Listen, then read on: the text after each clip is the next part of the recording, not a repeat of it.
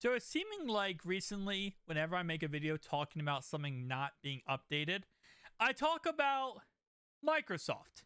Well, Microsoft could take a second to relax, take a second to chill, because Samsung is now in the news. All right, so let's go and talk about this. Posted by Android Authority, with the article artist being Hadlee Simons, who goes ahead and talks about yes, the Z Fold 4 is finally getting the September update. Kinda. So, yeah, when the Z Fold 4 first came out, it was still stuck on the July security update. It did not get the August or the September just yet, which of course is really concerning when this phone is $1,800. It's not a huge deal, obviously, but you want to have the most updated version of your phone possible. And when other Samsung phones are getting more updated updates than this phone, that's kind of an issue when this phone is $1,800. Now, of course, this is not officially released for everybody.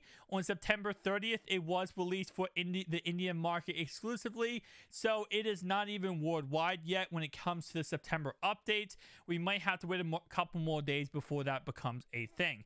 Now, don't get me wrong overall wise, Samsung has done a great job, right? They gave the One UI 4.1.1 to the Z Fold 2 and Z Fold 3. They also went ahead on September 1st, two weeks after the launch of the uh, Z Fold 4. They actually went ahead and did a day one patch, which went ahead and fixed the stability issues, performance bugs, and stability improvements. Now, the key thing about all this is, of course, this is Samsung. The Z Fold 4 has four generations of the Z Fold series under its belt, and it has been upgraded, perfected, you know, countless different times. So it's not like Microsoft, where when they put out the Surface Duo 1, it was a buggy mess and failure. This is not the case with the Surface Duo. So the Surface Duo, even though, yes, they aren't updating it as often as we would like for them to update it, it's not like them not updating it is going to cause any issues or any, you know, usability problems. But at the same time, though, it would be nice if they did what Microsoft did. You got to give Microsoft the hand here because Microsoft, since Surface Duo 1 and 2 has come out, every single month we have received updates for both devices. And it's just a nice little you know thing as a consumer if a company is constantly updating the device that you do use that you spend all your money on and when this is $1800 you kind of just want to see these updates come out a little bit more frequently. For example when will the z fold 4 get android 13 right here is speculating december or january to get android 13 this has to come out soon especially if anything just a beta just so we can see how it looks on this phone. I'm going to tell you right now, when Android 12's beta came out on the Z Fold 3, that was probably the best beta I've ever used and the most fun beta I've ever used.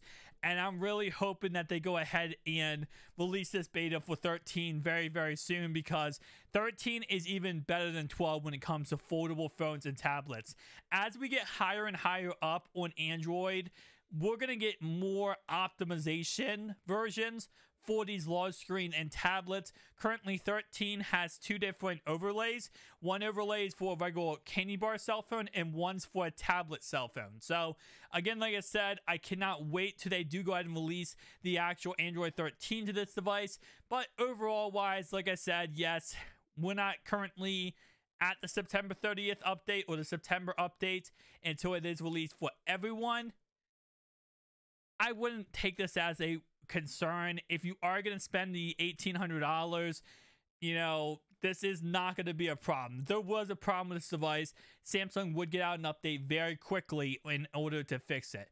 But I will say, though, this kind of sparks up another conversation because the Z Fold 4 is not your typical flagship phone.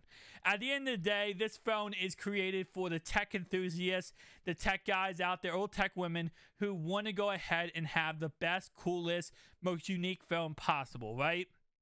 And most of the people who are in that space, they want to have Android 13. They want to try out the new betas. They want to try out new things and actually be able to utilize them on their phones.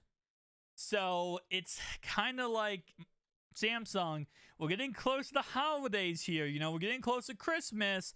If you're trying to push this phone out here, giving us Android 13, if you give us fully Android 13, that would absolutely sell this phone two times it is selling right now. But even if you just give us the beta, it gets more people interested in the whole concept of this phone, especially with how optimized it truly can be. That's the one thing that is holding back any affordable cell phones, period, is how optimized are they truly for their said phone? So, how optimized is the software for that said phone? So, if you're looking at, for example, uh, Surface Duo 2, and none of the things are optimized for, and the software crashes and buggy, that takes away your whole entire experience when wanting the device. But if you have Android 13, and let's say, for example, even on Surface Duo 2, it is fluent, everything works fine, everything is programmed correctly, it gets more people interested, right? And when you have more people interested, more people make videos on it, sparks up more interest, and bam, next thing you know, you have 10 million units like Samsung projected for the Z Fold 4 and the Z Fold 3. I'm sorry, Z Flip 4 and Z Fold 4. It's not a big deal right now, but Samsung I definitely will say moving forward, don't release a product when it's two months behind on security updates. You know, it's just little things like that. Again, Samsung will do better, get better, and eventually we'll have a perfect device that comes out and there'll be no problem at all.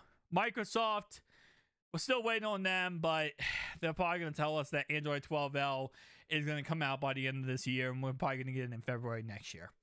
Who knows, though? Thank you guys for watching. I'll see you guys in the next one.